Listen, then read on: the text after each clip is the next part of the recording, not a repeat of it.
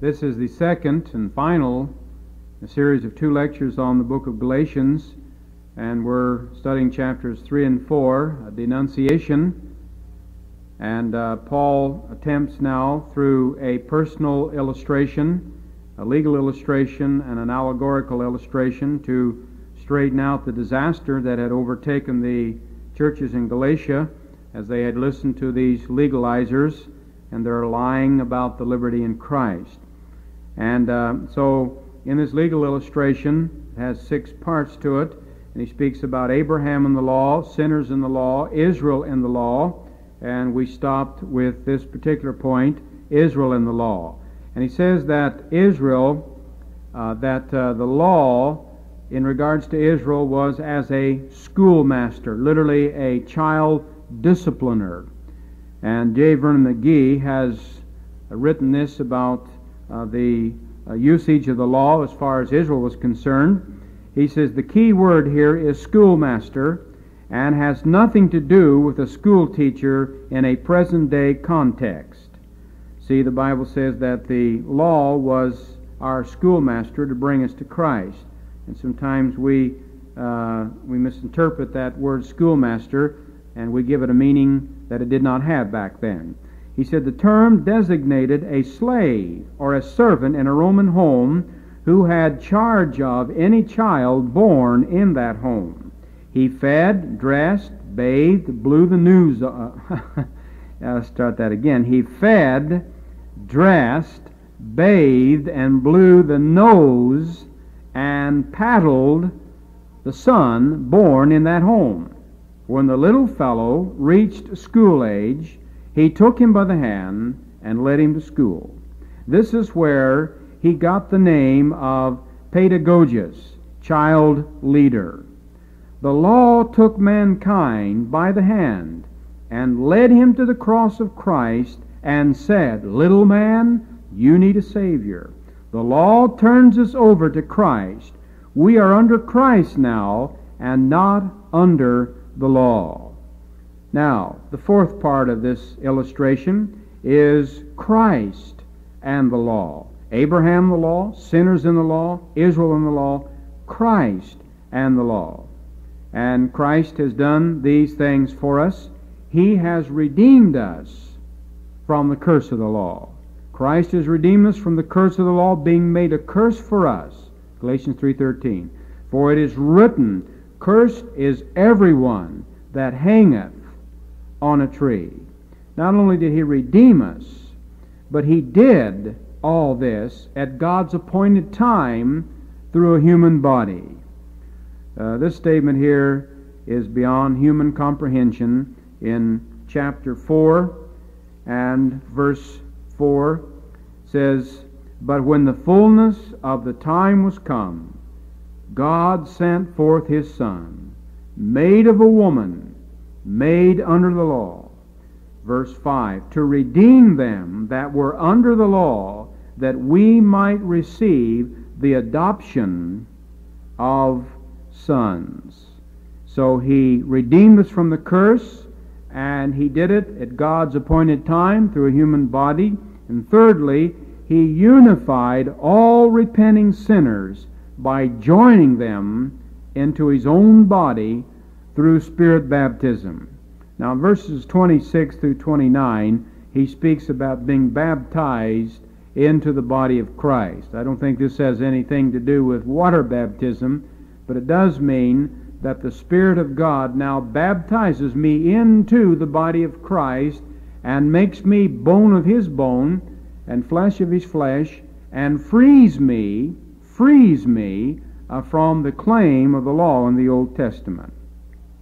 And then uh, notice here he says, because of this, in verse 27 of chapter 3, for as many of you as have been baptized into Christ have put on Christ. There is neither Jew nor Greek, there is neither bond nor free, there is neither male nor female, for ye are all one in Christ Jesus. And if ye be Christ's, then are ye Abraham's seed and heirs according to the promise. You see, there were three great divisions in the Roman world at that time. There was racial and religious, and that was the Jew and the Greek. And there was social and class, that would be the bond and the free. There was man's world and woman's world. Now, Jesus Christ has liberated, or let's put it this way, has broken down spiritually all these uh, boundaries, all these barriers. For example, the Jew and the Greek. Uh, Simon Peter was a Jew, and he leads Cornelius, a Greek, to Christ. For you see, there is neither Jew nor Greek in Christ. And then we think of Philemon, who was a slave owner. And we think of Onesimus, who was a slave. And yet Paul writes to Philemon, the slave owner, saying, Receive Onesimus as a brother. Why? Well, because there is neither bond nor free in Christ, spiritually speaking. And then when Paul visited the city of Philippi, he had the opportunity to lead the Philippian jailer to Christ. But before that, he led a woman by the name of Lydia, and both now became members of the church in Lystra. Both were uh, uh, in the city of Philippi, and both were just as important. Why? Because there is neither male nor female in Christ, for ye are all one in Christ Jesus. Now, obviously, there are physical differences between these that we've mentioned here and there are ecclesiastical differences. God still picks saved men to rule in churches, and he bypasses saved women as far as the leaders are concerned. But spiritually speaking, there's no difference between Jew and Greek, bond and free, and men and women. All right, the fourth thing that Jesus did, he redeemed us from the law. He did it at his own appointed, God's appointed time through a human body, and he unified us all uh, into his own body through spirit baptism. And the fourth thing, he thus guarantees our full adoption as sons of God. Uh, notice again, to redeem them, Paul says in chapter 4, verse 5, that were under the law, that we might receive the adoption of sons. Now, Paul does not say that the law made us children of God, while Christ made us the sons of God. But he does contrast the differences between a child and a son. Now, you see, uh, the Romans adopted their own children. Now, we don't do that. Uh, I have a boy, and I, I may do a lot of things to him. I give him money every now and then. I spank him, and I pray for him, pray with him and read the Bible, and we fellowship together, play baseball. One thing I'll never do uh, to my son or for my son, I'll never adopt him. I don't need to adopt him. But uh, under Roman law, legal system of the day, uh, the Romans adopted their own children. Now, there is a difference, of course, between regeneration and adoption and the repenting sinner receives both. And here Paul contrasts here the differences.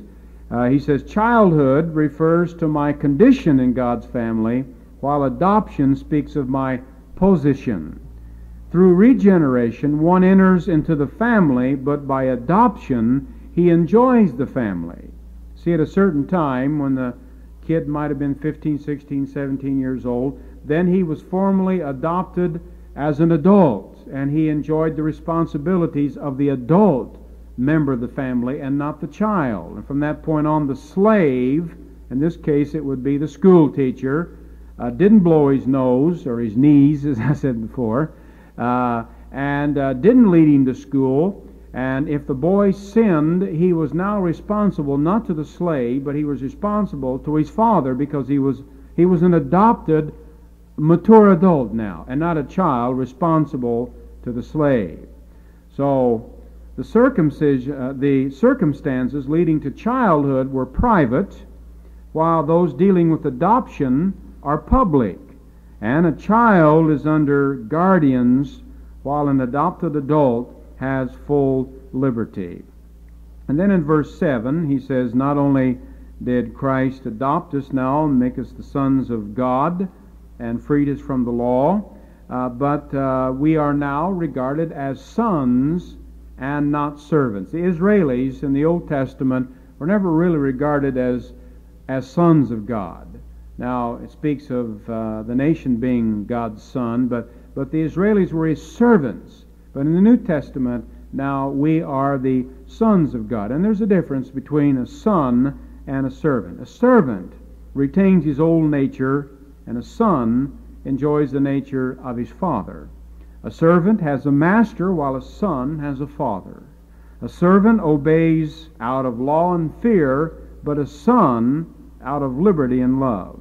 And then a servant, normally now, there are exceptions, but normally a servant is promised no inheritance, while a son can legally expect to inherit all things. So, this legal illustration now. Abraham in the law, sinners in the law, Israel in the law, Christ in the law, the promise and the law. What was the promise? Well, the promise in Genesis chapter 12 and Genesis chapter 14, the promise that God would make Abraham a mighty nation, the promise that the Gentiles would then later on become uh, the uh, heir to the blessings of Abraham also, and the promise that Abraham received, he would pass on not only physically to the Jews, but spiritually to Jews and Gentiles. And here Paul says that the law could not change the promise. It didn't even set it aside. It was an interjection for a while, but the law couldn't change the promise. And that the law was not greater than the promise because the law was set aside and the promise has never been set aside. And then, thirdly, the law, and this is hard for some people to believe, but maybe I can illustrate it. The law, he said, is not contrary to the promise. Now, you would think it would be, but it isn't.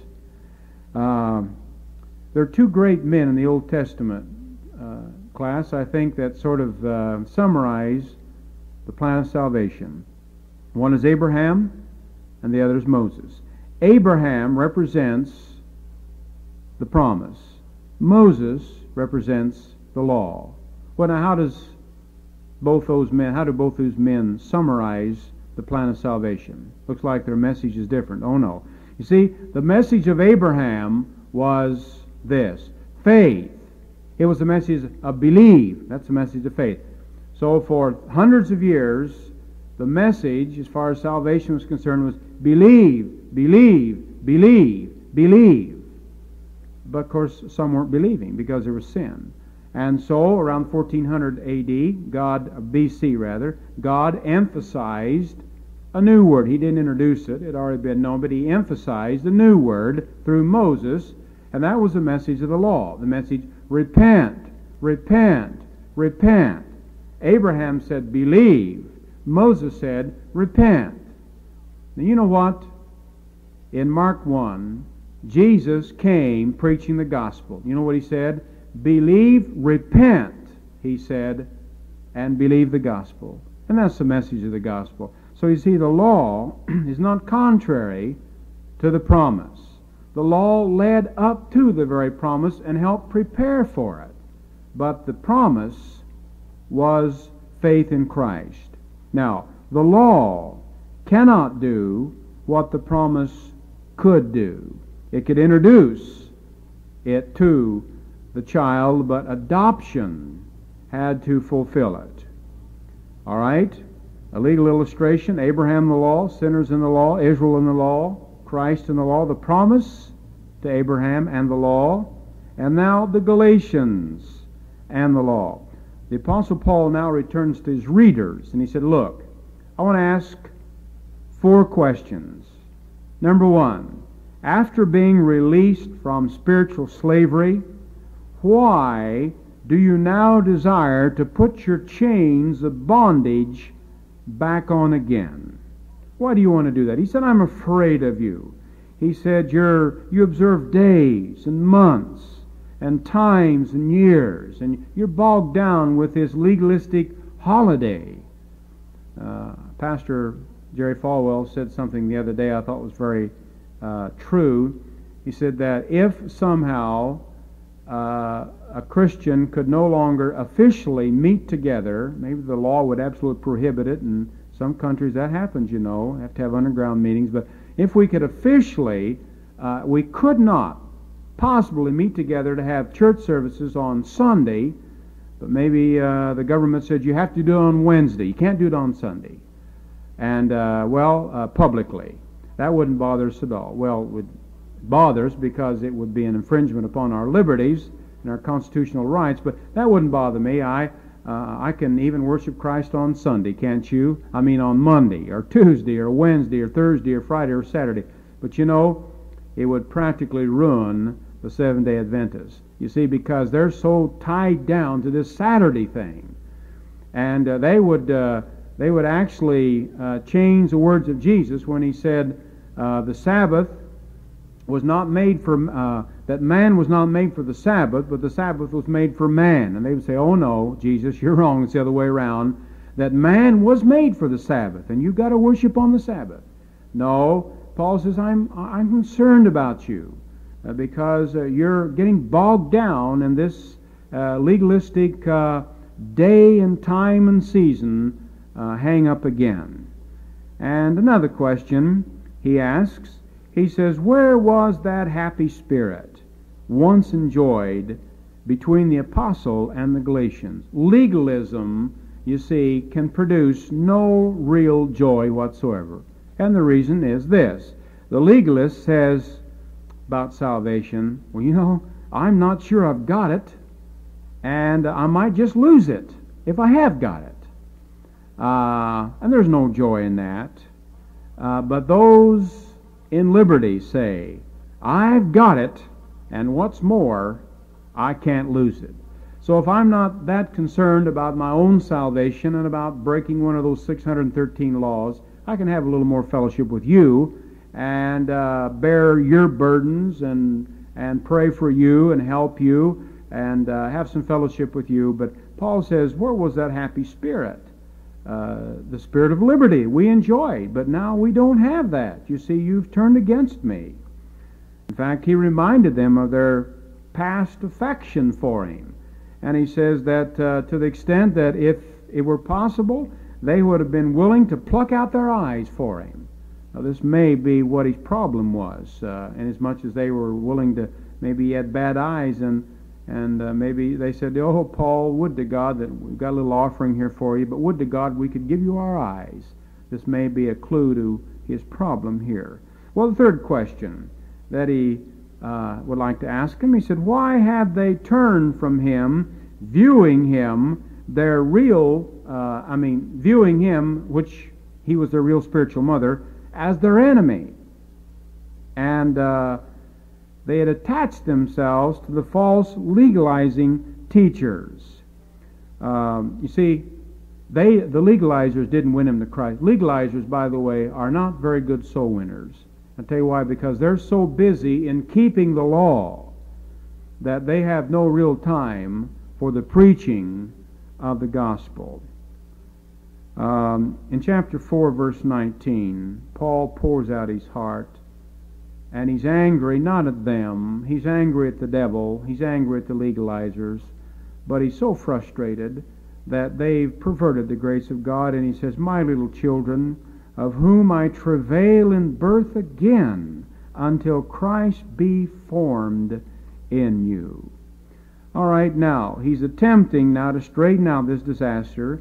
He does it by a personal illustration, he does it by a legal illustration, and now he does it by an allegorical illustration. He reminds them now of two women who had lived and departed this earth. One was an Egyptian by the name of Hagar, and he ties that in with uh, the flesh, and the other, uh, whose name was uh, Sarah, and he ties her in with the Spirit. So you have the flesh versus the Spirit here. All right, now, Abraham, as we say, had two sons, and he had two wives. One son, his name was Ishmael, and he was born naturally from his slave wife Hagar. By that I mean, it wasn't a supernatural birth. Uh, it was just as natural as births are today.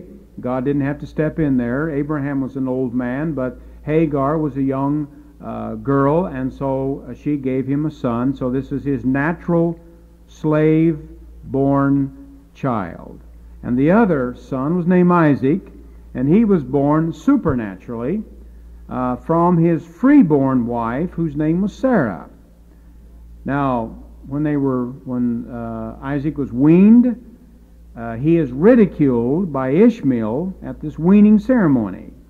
And therefore, of course, God ordered Abraham to send away both Hagar and Ishmael. Now, God took care of them, by the way, but he had them sent away from the tent. So here is the application to his allegory now. He's given us a history of it, and here's the allegory application. In this application, or in this uh, illustration, uh, allegory that he uses, Hagar represents the law, and Sarah represents grace. Okay?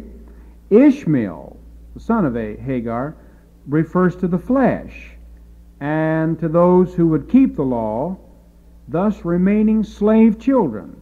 You see, uh, Hagar's son was a slave child, even though he was the son of Abraham, he was a slave child because he was born of a slave.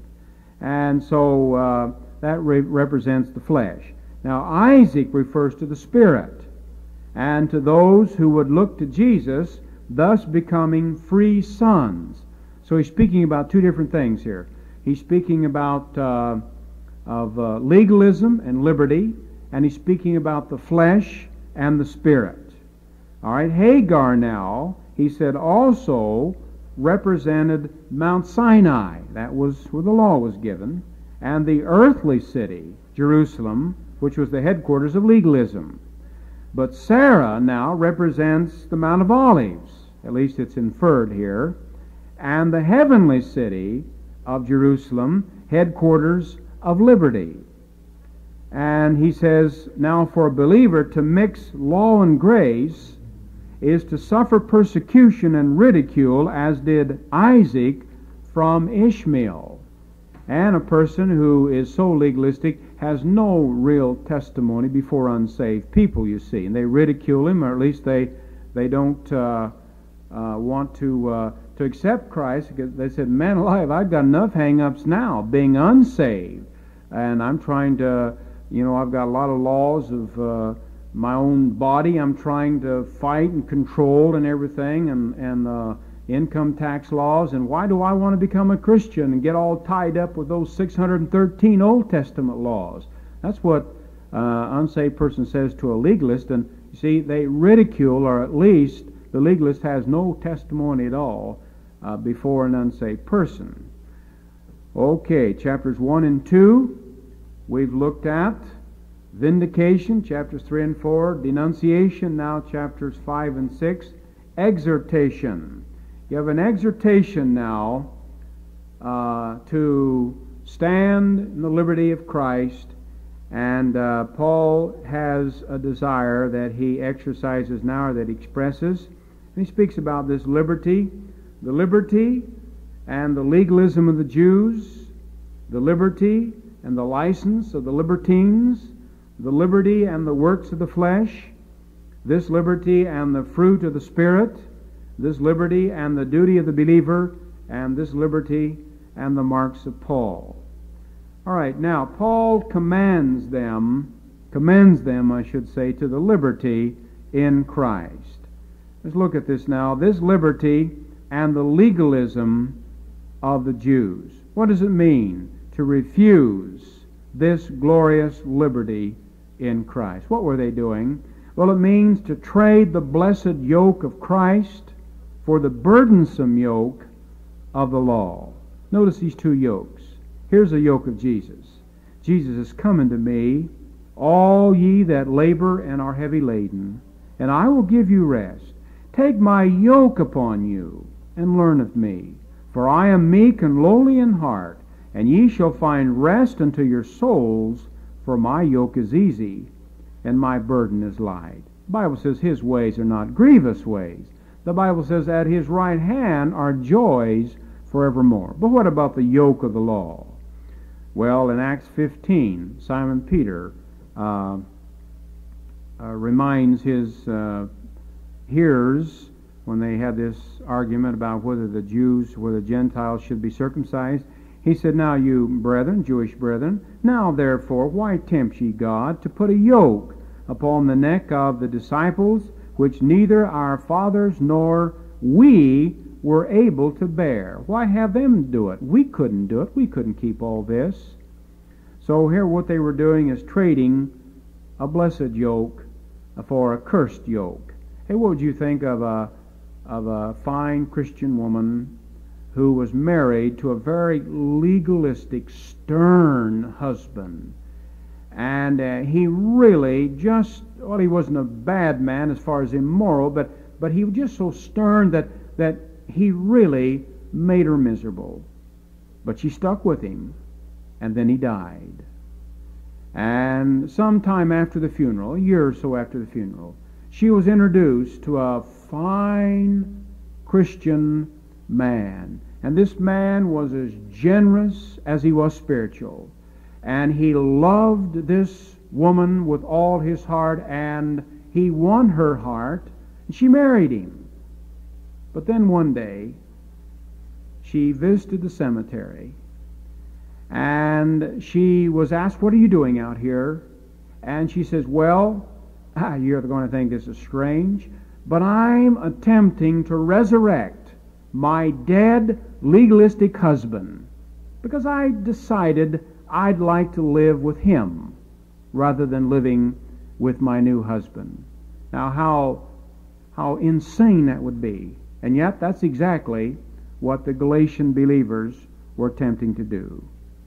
Now, another thing it meant when they attempted to refuse the glorious liberty of Christ it meant to become debtors to the entire Mosaic law. If you're going to break one, you've broken all. I remember J. Vernon McGee saying at Dallas Seminary once that he talked to a Seventh Day Adventist who uh, one of he was his neighbor and he was trying to keep the law and he said he said tell me brother he said have you ever eaten an ossifrage bird and uh, so uh, the fellow said, Well, I haven't the slightest idea. He said, Well, you better find out.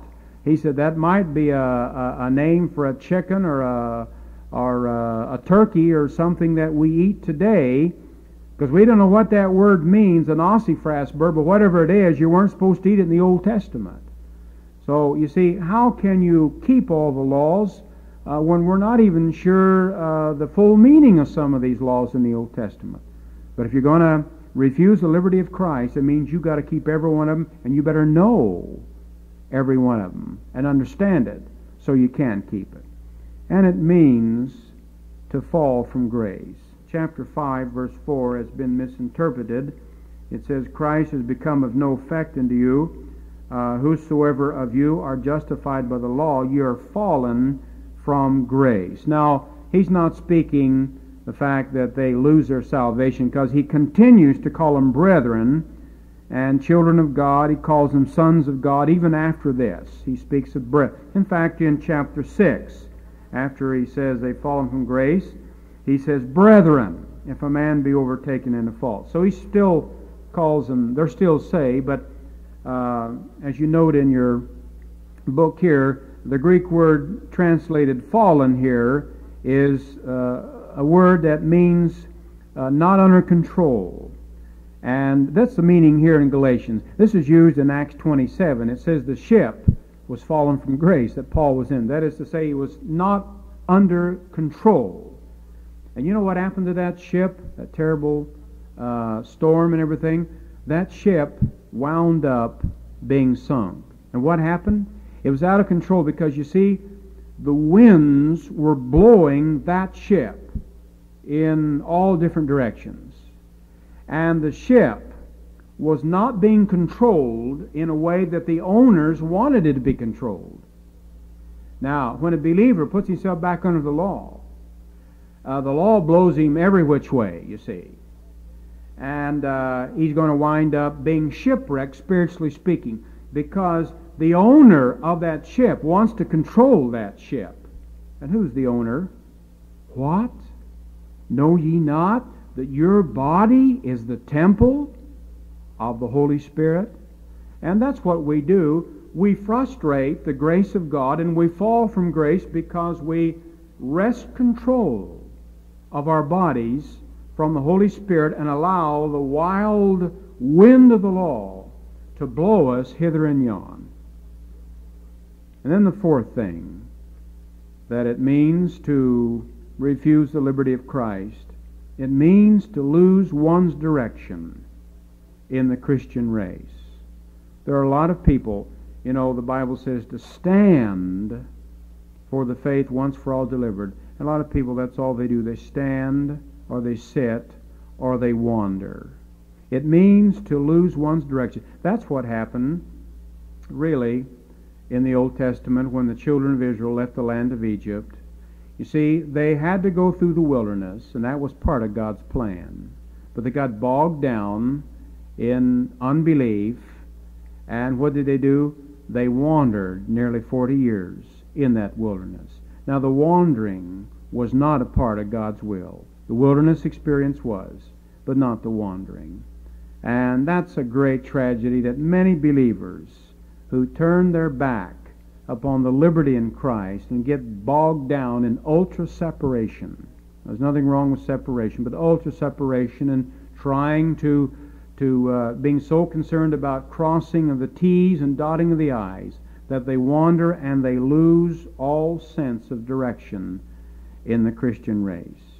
Well, he speaks about the uh, liberty and legalism of the Jews, and then this liberty in Christ and the license of the libertines. Now, notice verse 13. He said, For brethren, ye have been called unto liberty, only use not liberty, this liberty, as an occasion to the flesh, but to love one another. See, Paul now warns against the opposite of legalism, which is lawlessness. And by the way, many lawless people, I don't mean outlaws, but I mean many people that really uh, live a, a very open type of Christian life. I mean, where anything goes, you know, they drink in moderation and you talk to them, you'll find out that they grew up in a very legalistic system. And you see, in order to get away from that, they sometimes go to the other extreme. And that's often what happens. And so Paul warns against this now. Uh, this liberty, don't go the other extreme, folks. It's liberty, but it's not license, it's not lawlessness. And uh, we're to uh, keep that in mind. And then he speaks of this liberty and the works of the flesh. And he talks about the um, uh, various uh, children uh, that the works of the flesh uh, give forth. Some 17 kids, and they're all brats here. He calls them adultery, fornication, uncleanness, lasciviousness. You can read these for yourself.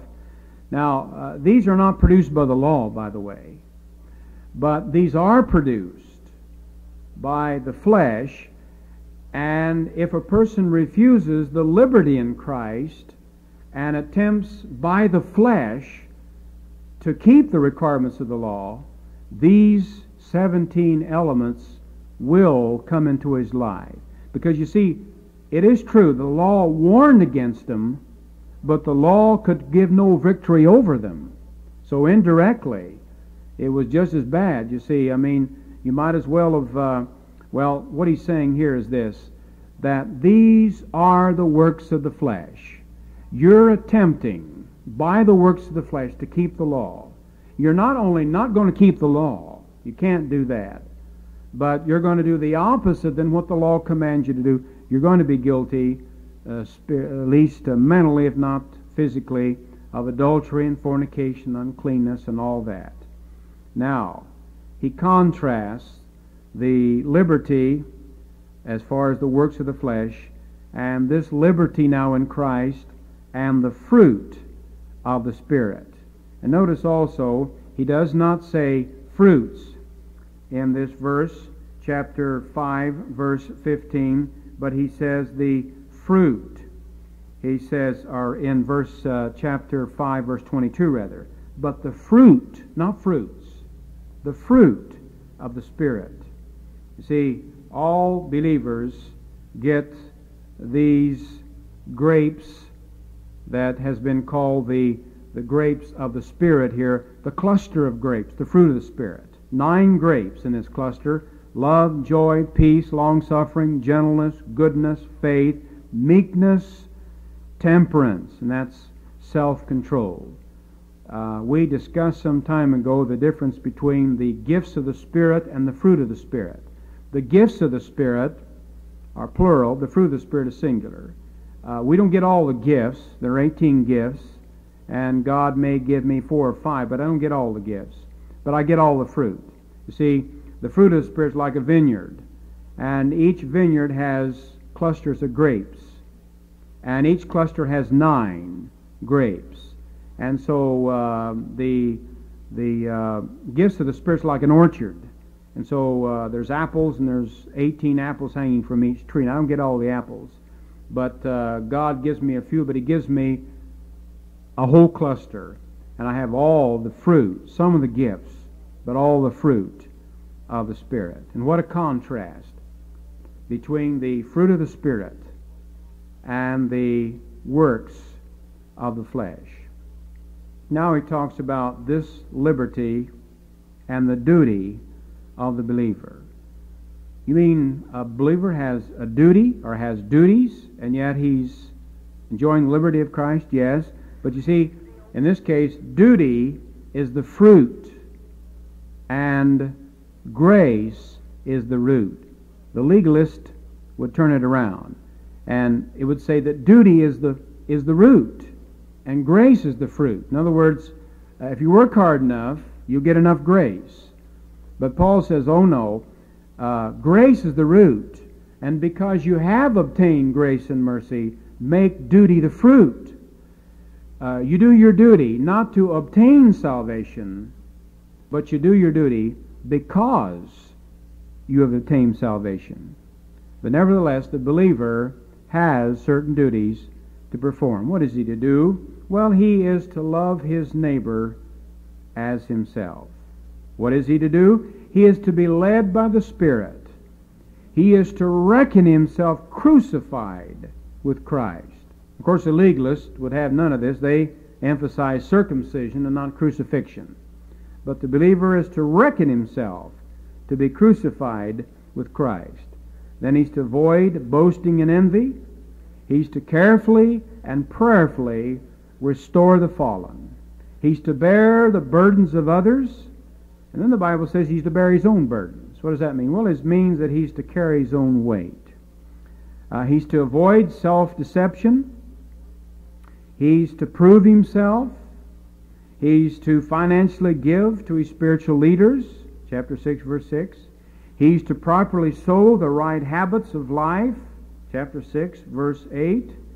Uh, verse 7, Paul says, Be not deceived, God is not mocked. For whatsoever a man soweth, that shall he also reap. For he that soweth in his, to his flesh shall of the flesh reap corruption. Now he's talking about believers here. Someone said, if you spit in the wind, you're going to spit in your face. And that's certainly true. They that sow to the wind, the Old Testament says, shall reap the whirlwind. It's also been said that some uh, Christians uh, sow their wild oats all week long and then go to church on Sunday and pray for a crop failure. Uh, but there will be no reduction in the wages of sin, whether it's in the life of a Christian, the life of an unsaved person. Um, Paul says in verse 9, and I need this, and I think you do too. Let us not be weary in well doing, for in due season we shall reap if we faint not. You're going to reap what you sow. And if you reap to the Spirit, and you reap and the liberty of Christ, you're going, I'm sorry, if you sow to the Spirit and sow in the liberty of Christ, you're going to reap the same thing. And then he is to do good to all. Verse 10 And as we have therefore opportunity, let us do good unto all men, especially unto them who are the household of faith. And then finally, in this liberty that he's been talking about, been exhorting in chapters 5 and 6, This liberty and the marks of Paul. Verse 17, Paul says, I, of chapter 6, I bear in my body the marks of the Lord Jesus. What a testimony that is. J. Sidlow Baxter has written, This Galatian epistle was written to a group of believers scattered throughout a rural area in which most of the people were agricultural workers of one sort or another. In keeping with the mentality and circumstances of the Galatians, Paul uses language and metaphors which are specially appropriate to them. There were four kinds of bearing with which the Galatians were familiar above all else. These were fruit bearing, burden bearing, seed bearing, and brand bearing. For as many of the agricultural laborers were slaves, they were branded to indicate whose property they were. See now how Paul makes use of these things in expounding the true liberty of the Spirit. Fruit bearing. He says the fruit of the Spirit is love, joy, peace, long suffering. And then he speaks of burden bearing. Bear ye one another's burdens, and so fulfill the law of Christ. Seed bearing. Whatsoever a man soweth. And then let us be weary in well doing. Let us sow, for we shall reap. And then brand bearing. I bear in my body the marks or brands of the Lord Jesus. He goes on to say, Baxter, there were five classes of persons who were branded slaves as a mark of ownership, soldiers as a mark of allegiance, devotees or worshippers as a mark of consecration, criminals as a mark of exposure, and the abhorred as a mark of reproach. The marks of the Lord Jesus in the body of Paul were all these five in one. He bore the mark of a slave and of a soldier of a devoted person, of a criminal as far as the world was concerned, and of the abhorred as far as sinners were concerned. We began this epistle by quoting the first stanza of Philip Bliss. We shall end it by quoting stanzas 2 and 3 of his song Once for All. Now we are free. There's no condemnation. Jesus provides a perfect salvation.